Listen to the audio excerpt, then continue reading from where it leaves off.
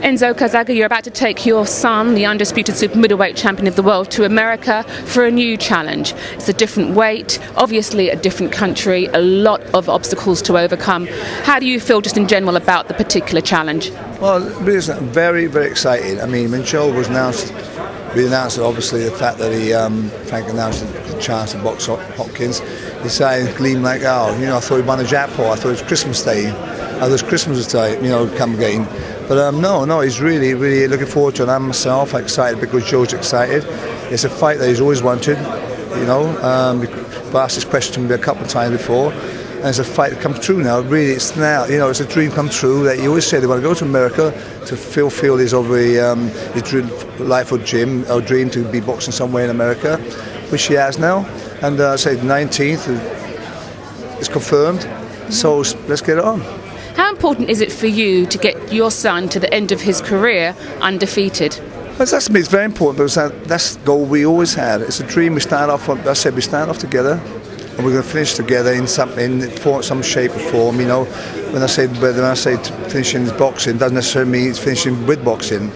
You know, it could be other avenues, promoter or trainer. So we start together and we'll stand in together. And uh, the fact that I've reached this far, I think it's just a dream come true.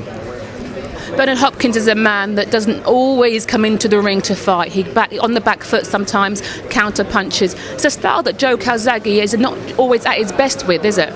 Well, yeah, it's true. I mean, uh, horse for courses, and uh, Joe, I, I was I said, and we spoke about it, Joe's going to make his fight, not really to concentrate on much what he's going to do, with because basically, Connie, I know for a fact exactly what he's going to do, exactly what you just said.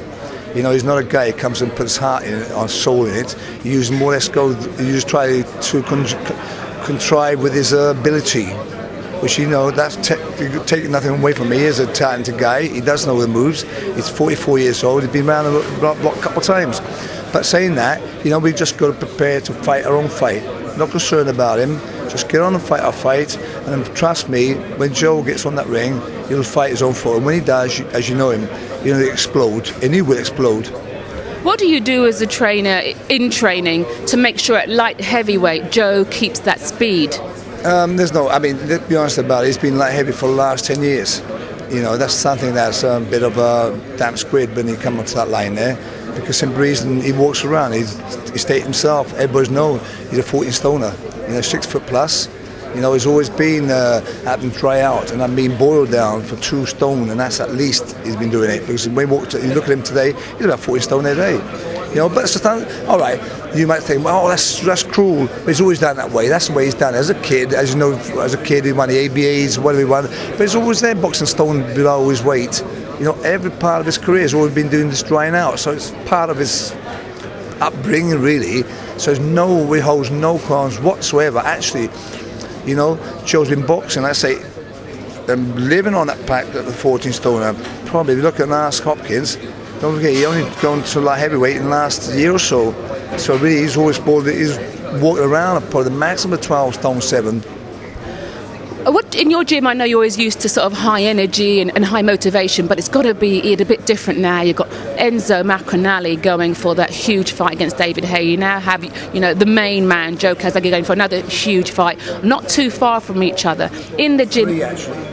Gavin Rees another world title. So I'd like to give emphasise everybody that we've got another champion, which is WBA champion. That you know. Yeah. So, so in the gym though, I mean, the the, the training is it is it hitting new levels? Is, are there high levels of intensity? Yeah, they're, they're competing. That's the idea. I mean, my my my actual um, um, work rate probably have to stay as, as ever because at the end of the day, Joe they know what it, we've got these guys that know exactly what to do, how to switch on now and switch off. Before when they, before they had titles, they didn't know really whether or not they can time time off because we don't know if it can be. You know yourself, the date was very unpredictable. Now at least these champions know more or less. They're given a well pre-warning of when they're going to fight. So it makes my life a lot easier, doesn't it? A hell of a lot. I don't mind. They, they, they're together, they spar together, they work together, they like come around there, who's best at this, who's best at that. It works absolute a treat for me. It's fantastic. Thank you very much. You're welcome.